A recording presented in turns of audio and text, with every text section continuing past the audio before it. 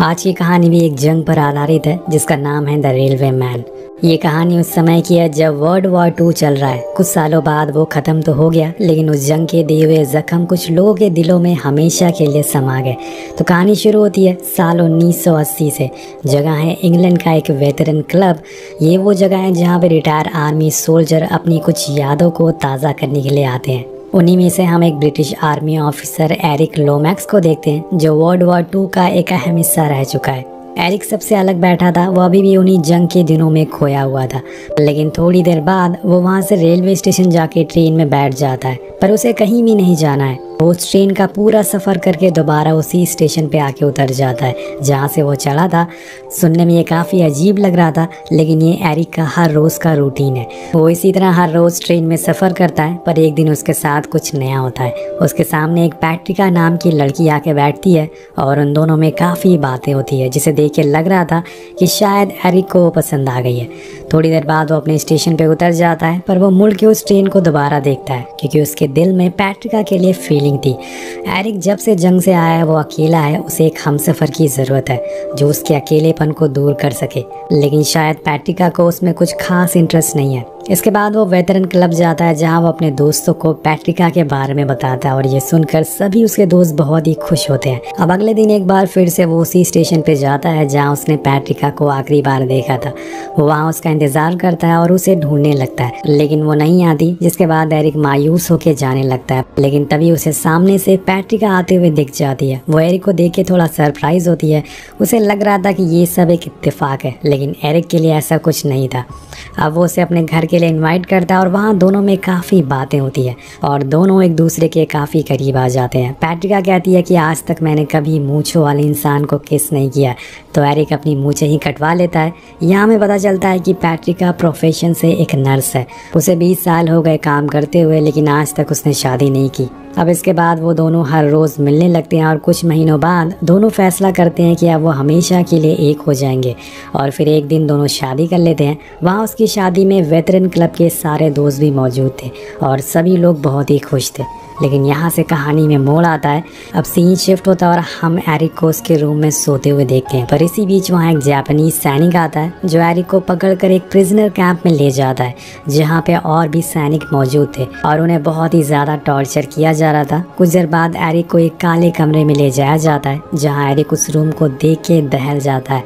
वो चीखता है, चिल्लाता है, पर वो सैनिक उसकी एक भी नहीं सुनते हैं और उसे अंदर बंद कर देते हैं। अगले ही पल हमें दिखाया जाता है कि वो अपने रूम में है। ये उसका एक बुरा सपना था, या ये कहें कि उसकी बुरी याद। है अब उसकी चीख सुन के पैट्रिका वहाँ भागते हुए आती है और वो एरिक को ऐसी हालत में देख के बहुत ही ज़्यादा डर जाती है। और ये सब होने की वजह थी एरिक के दिमाग में बसी हुई जंग की कुछ ऐसी यादें जो आज तक भुला नहीं पाया जंग से आने के बाद वो आज तक उसी ट्रॉमा से गुजर रहा है। उसे हर रोज़ बहुत ही बुरे बुरे सपने आते हैं, पर इस बार ये बहुत ज़्यादा हो गया था। जिसके बाद वो बिल्कुल ही बदल जाता है। वो ना तो किसी से बात करता है और ना ही कुछ खाता है। और ये देखकर पैट्रिका बहुत ही परेशान होने लग जाती है। उसने एरिक से बात करने की कोशिश भी करी, लेकिन एरिक उसे कुछ भी बताने को तैयार नहीं है। अब एक दिन वो ऐसे ही एरिक की रीडिंग रूम की सफ़ाई कर रही होती है तो उसे वहाँ एक बुक मिलती है, जो उसमें कुछ स्केचेस बने हुए थे, जो कि काफ़ी दर्दनाक होते हैं। उन स्केचेस में काफ़ी सैनिकों को दिखाया गया था, जिन्हें मारा जा रहा था, और कुछ लोगों को तो शरीर में हड्डियाँ दिख रही थी।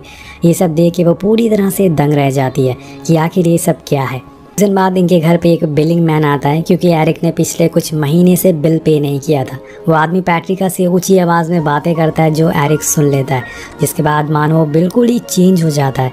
वो एक चाकू से उसे जान से मारने की कोशिश करता है, लेकिन वहाँ खड़े लोग उसे रोक लेते हैं। अब ये सब पैट्रिका से देखा नहीं जा रहा था। उसे जानना था कि आखिर एरिक के साथ क्या हुआ था।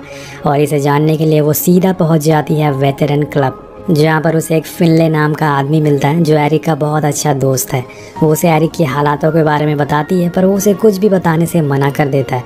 तब पैट्रिका कहती है कि मैंने 20 साल नर्स की नौकरी करी है। मैंने हज़ारों लोगों को दर्द से तड़पते हुए देखा है, लेकिन जो दर्द एरिक बर्दाश्त कर रहा है, उसे देख के मेरे रोंगटे खड़े हो जाते हैं। आखिर एरिक के साथ क्या हुआ है, मुझे किसी भी हालत में सच्चाई जाननी है। और ये बोलते हुए वो रोने लग जाती है, तभी फिनले उसे सच बताना शुरू करता है। वो कहता है कि जब एरिक जंग से आया तो उसके साथ बहुत ही बुरी यादें थी, जिसे भुलाने के लिए उसने कॉलोनल सर्विस ज्वाइन कर ली, जिसके बाद उसे अफ्रीका भेज दिया गया। वो एक रेलवे लाइन बनाया करता था, पर जब से वो लौट के आया तो वो बिल्कुल ही बदल गया। ना तो वो किसी से बात करता है, और ना ही अपने बारे में किसी को बताता है। उसकी ज़िंदगी में ट्रेन की बहुत अहमियत है, तभी वो बेवजह उसमें घूमता रहता है। अब कहानी पीछे जाती है साल 1942 में। और जगह है सिंगापुर, जहाँ ब्रिटिश सरकार की हुकूमत है, लेकिन जापान ने उसे जंग में हरा के सिंगापुर को खुद के कब्ज़े में ले लिया है, जिसके बाद वहाँ अब जापानीज़ का कब्ज़ा है, वहाँ उनका झंडा फहरा दिया जाता है। इसी बीच हमें एरिक को दिखाया जाता है, जो कि एक इंजीनियर है। असल में उसका काम रेडियो सिग्नल सेंड करना होता है, लेकिन अब वो और उसके साथियों को एक नई जगह पर काम करने जाना है। वो जगह जापान के कब्ज़े में है और कुछ देर बाद उन्हें म्यांमार रेलवे स्टेशन पर उतारा जाता है, जहाँ पे एक रेलवे ब्रिज बनाया जा रहा है। अब यहाँ जो एरिक देखता है, उसे देखते ही उसके होश उड़ जाते हैं। लोगों से जानवरों की तरह काम कराया जा रहा था, उनके शरीर में सिर्फ़ हड्डियाँ बची थी, और जो काम नहीं करता था, उसे जान से मार दिया जाता था। लेकिन यहाँ पर इनकी किस्मत अच्छी होती है। ये लोग इंजीनियर थे, और उन्हें ट्रेन इंजन बनाने का काम दिया जाता है। अब जापानीज सोल्जर सभी को एक नंबर देते हैं, और एरिक का नंबर होता है ग्यारह। इसके बाद हम देखते हैं कि उसी रात एरी का एक साथी कहता है कि मैं हार नहीं मानने वाला हूँ। मैं कुछ भी करके यहाँ से निकल जाऊँगा। वहाँ बैठे सभी लोग अपनी अपनी बातें रख रहे थे। तभी एरिक उन्हें एक मैप दिखाता है जो रेलवे का था। वो कहता है कि हम लोग इस समय थाईलैंड में हैं और यहाँ उसी ब्रिज को बनाया जा रहा है जो ब्रिटिशर्स ने बनाने की सोची थी, जो कि चाइना से इंडिया तक होने वाला था और ये ब्रिज बनने से ब्रिटिशर्स को बहुत ही फ़ायदा होने वाला था। लेकिन ये ब्रिज पहाड़ियों से होकर गुजरता है, जिसमें हज़ारों लोगों की जान जा सकती है। इसी वजह से उन्होंने इस ब्रिज को बनाने का ख्याल अपने दिमाग से निकाल दिया। लेकिन जापानीज़ ने उसी ब्रिज को बनाना अब दोबारा से शुरू कर दिया है और उन्हें कोई फ़र्क नहीं पड़ता कि कितने लोग इसमें मारे जाते हैं। अब अगले दिन एरिक और उसके दोस्त एक रेडियो बनाते हैं कुछ स्पेयर पार्ट की मदद से। वो चुपके से बहुत सारे सामानों को चुराते हैं और इस रेडियो को फाइनली बना लेते हैं। तो इस रेडियो को बनाने के दो मकसद थे। पहले तो वो बाहर क्या चल रहा है ये जान सके और दूसरा वो अपने साथियों को एक उम्मीद दे सके कि वो यहाँ से भाग सकते हैं। अब रेडियो बन जाता है और चलने भी लगता है, जिसमें उन्हें पता चलता है कि रशिया जर्मनी को बस हराने वाला है।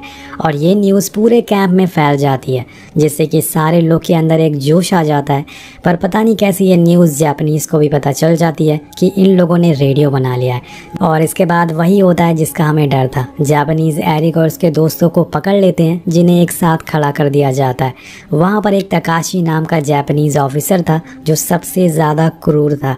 वो पहले उसके साथियों को मारता है और इतना मारता है कि वो मरने की हालत में आ जाते हैं। अब एरिक को भी दोषी पाया जाता है और एरिक सामने आता है और बोलता है कि मैं इन सब का जिम्मेदार हूँ।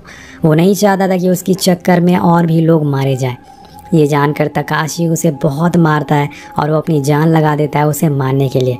उसके आसपास खड़े सारे ब्रिटिश सैनिकों की आँखों में आँसू आ जाते हैं, लेकिन वो मजबूर थे और वो कुछ भी नहीं कर सकते थे। पर यहाँ पर सब कुछ ख़त्म नहीं होता। हम देखते हैं कि तकाशी एरिक के कैंप में आता है और बोलता है कि तुम्हें दोषी पाया गया है, इसलिए आज तुम्हें फांसी दे दी जाएगी। पर अगर तुमने बता दिया कि तुमने वो रेडियो क्यों बनाया है तो हम तुम्हें छोड़ देंगे। और इसके बाद वो उसे अपनी बाइक के पीछे बाँध कर उसे घसीटते हुए ले जाते हैं और उसे काले कमरे में ले जाके बंद कर दिया जाता है, जिसे सोच के आज भी एरिक की रूह काँप जाती है। जापानीज दो हफ़्ते के बाद उसे उसी हालत में कैंप में लाकर छोड़ देते हैं, पर अब एरिक, वो पहले वाला एरिक नहीं रहा। उसके शरीर पे हर जगह चोट के निशान थे, पूरी बदन सिकुड़ चुकी थी। उसके साथ ही सोचते हैं कि वो मारा गया, लेकिन अभी भी उसकी साँसें चल रही थी। लेकिन यहाँ एरिक ने फिर भी नहीं बताया कि उसने रेडियो क्यों बनाया था, और ना ही उसने ये किसी को आज तक बताया कि उन दो हफ्तों में उसके साथ क्या हुआ था। चलिए अब कहानी प्रेजेंट में आती है। यहाँ फिनले ये सब पैट्रिका को बता रहा होता है जिसे सुनने के बाद उसके रोंगटे खड़े हो जाते हैं। उसे यकीन ही नहीं हो रहा था कि एरिक ने इतना दर्द सहा है। फिर कहता है कि एरिक को प्यार की ज़रूरत है, जो तुम उसे दे सकती हो। पर अभी भी वो पहली नहीं सुलझी। आखिर उन दो हफ्तों में एरिक के साथ क्या हुआ था?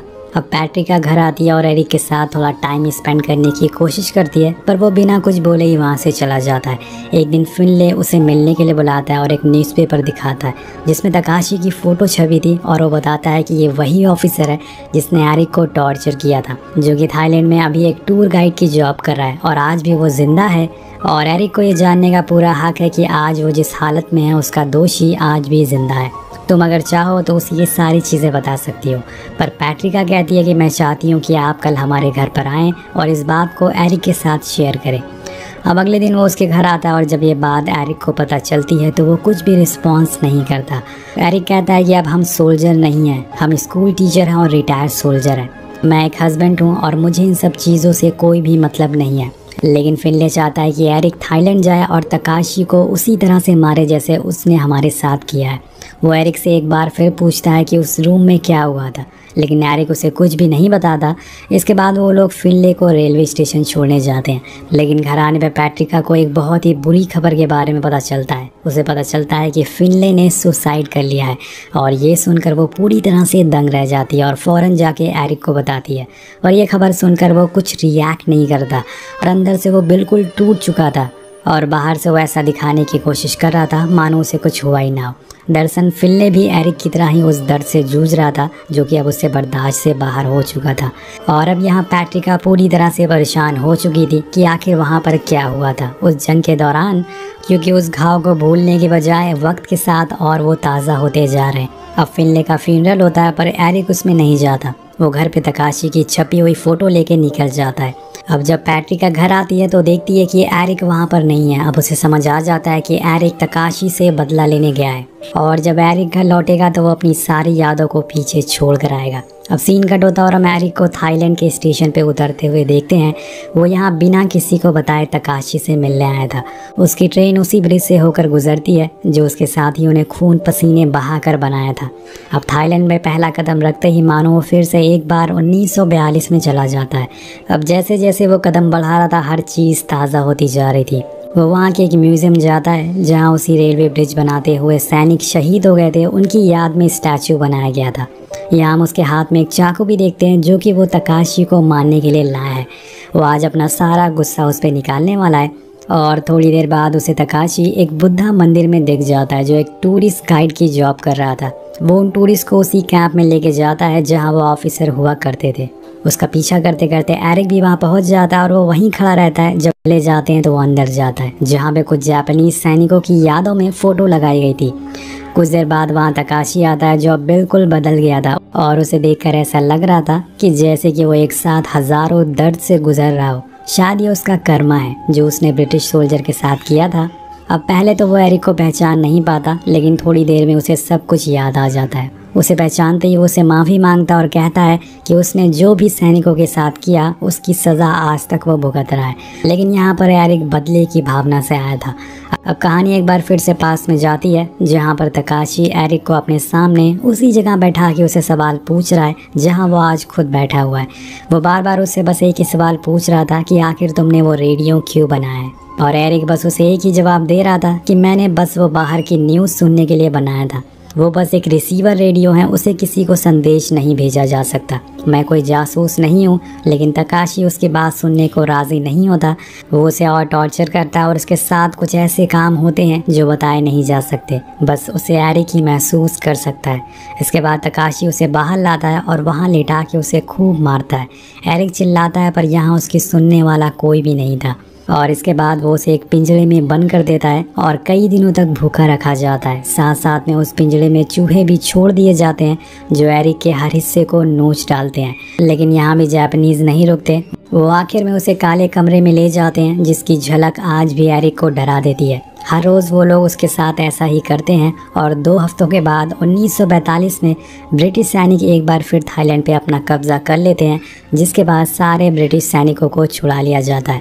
वो लोग तकाशी को भी पकड़ लेते हैं, पर उसे अच्छी इंग्लिश आती थी और वो ब्रिटिश सैनिकों से झूठ बोलता है कि वो एक ट्रांसलेटर है और उसने किसी को भी नहीं मारा है। उन लोगों ने उसे यहाँ जॉब पे रखा था और ये झूठ बोल के वो सज़ा से बच जाता है और उसके साथ ही समझ जाते हैं कि तकाशी एक गद्दार है। वेल, उसके बाद वहाँ सालों तक खुदाई चलती रहती है और जहाँ पर हज़ारों ब्रिटिश सैनिकों की डेड बॉडीज़ मिलती है, जो देखने में काफ़ी दर्दनाक मंजर होता है। लेकिन ये सारी सच्चाई छुपा कर तकाशी बच गया था। पर एरिक और फिनले जैसे हज़ारों सैनिक आज भी उन दिनों को याद करके सहम जाते हैं। अब कहानी एक बार फिर से प्रेजेंट में आती है, जहाँ तकाशी कहता है कि मेरे पोस्ट के दौरान जितने भी सैनिक मरे या फिर मैंने उनको मारा, उनके चेहरे आज भी मुझे याद है। मैं सालों से सो नहीं पाया हूँ और हर रोज़ मैं ऊपर वाले से माफ़ी माँगता हूँ, लेकिन वो शायद मुझे कभी माफ़ ना कर पाए। और यहाँ पर एरिक के मन में बदले की आग जल रही थी। वो सेम उसी तरह से उसका हाथ रखता है, जैसे कि सालों पहले तकाशी ने उसके साथ किया था। पर यहाँ पर वो उसके हाथ को नहीं तोड़ता। क्योंकि एरिक उसके जैसा नहीं है, लेकिन वो उसे घसीट कर बाहर ले जाता है और उसी पिंजरे में बंद कर देता है, जहाँ एरिक को सालों पहले बंद किया गया था। और इसके बाद आखिरकार पूरे पैंतालीस साल बाद वो उसी काले कमरे में दोबारा जाता है, जहाँ वो अपने उन दो हफ्तों को याद करता है। यहाँ आखिरकार हमें पता चलता है कि उसके साथ उन हफ्तों में क्या हुआ था।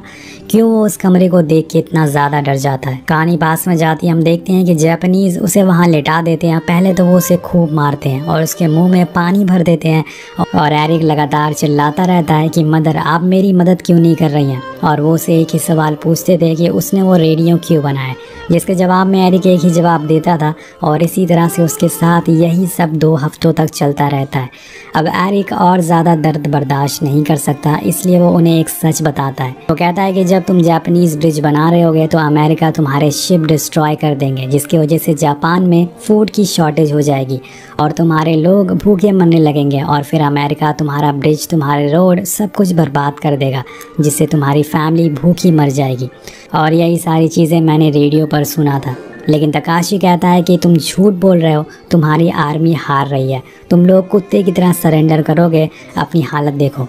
जैसी तुम्हारी हालत है, मैं तुम्हारी आर्मी की भी वैसी हालत कर दूँगा। अब ये सारी चीज़ें सोचकर एरी की आँखों से आँसू आ जाते हैं और वो बाहर आता है और तकाशी के साइड में बैठ के फिनले के बारे में उसे बताता है कि वो चाहता था कि मैं तुम्हें जान से मार दूँ। तकाशी कहता है कि मैंने हर रोज़ खुद को उसी तकलीफ़ में महसूस किया है, जो मैंने तुम लोगों को दी थी, लेकिन फिनले सही था। मुझे मार डालो, शायद मुझे ऊपर वाले ने इसी दिन के लिए ज़िंदा रखा है।